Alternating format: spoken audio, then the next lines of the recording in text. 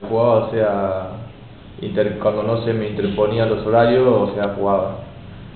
Pero bueno, también siempre, viste, uno como que es menos motivación cuando, cuando sabes que, que al estar en un equipo así jugás y después vas, no sé, a los juveniles y ves que jugás contra unos chicos que no sé, que te puedes hacer 60, 70, no es la misma motivación que tenés capaz Claro. en un partido y bueno, ya al final de cuando estamos en las finales, ya casi, viste, la cabeza ya la tenés pensando, no sé, en quiero ascender, quiero jugar las finales y capaz te olvidás de todo lo demás, pero o sea, de- yo ya, a ellos casi ni lo veía ya lo último porque no, no se me intercalaban los entrenamientos, se me interponía todo y ya casi no lo veía.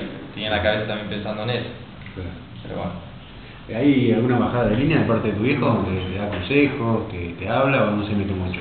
Sí, o sea, siempre te da consejos, viste, como, Como como punto de vista. claro, como del punto de vista. Pero bueno, ya, ahora ya casi no, no me dice nada, porque sabe que es cosa mía, capaz que sí, muchas veces me habla, me, viste, me aconseja, hablamos, pero casi nunca se mete, viste, en la en lo que es, porque yo capaz me enojo, esas cosas, pero sí, siempre dándome consejos y apoyándome en eso siempre. Eh, Facu, vos venías de jugar TNA acá en Tandil, eh, pero con un equipo obviamente con otras eh, aspiraciones, ¿no? La de mantener la categoría.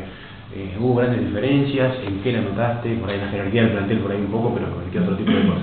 No, sí, tal cual. Eh, un equipo era para mantener la categoría, para tratar de jugar, y que la mayoría de los jugadores no había jugado TNA, estábamos todos, éramos todos nuevos más o menos, y en otro equipo eran, la mayoría eran jugadores de Liga Nacional, y la forma de los entrenadores es totalmente diferente.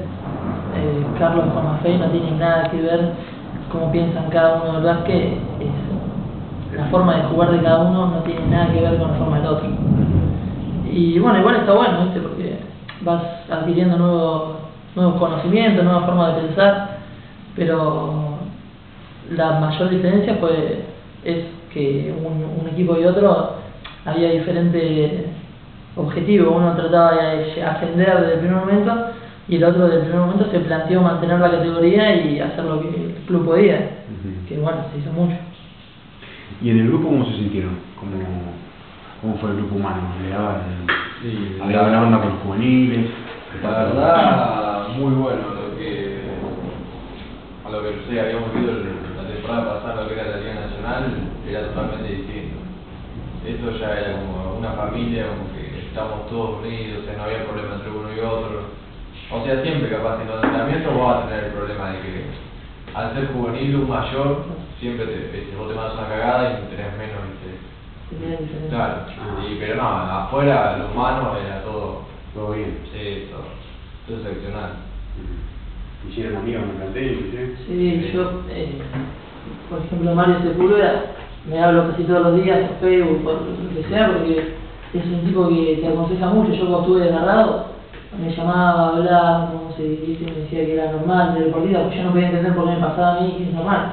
Y nada, me llamaba, me aconsejaba, Goyo Esteban es lo mismo, eh, me desgarré otra vez, fue el primero que me escribieron en Facebook que está todo bien, que llegue a pasar. Y así todo, Paca Piñero también, Juanito Ferreira también tenía lo mejor, son, la verdad que la mayoría son todos buenos pibes.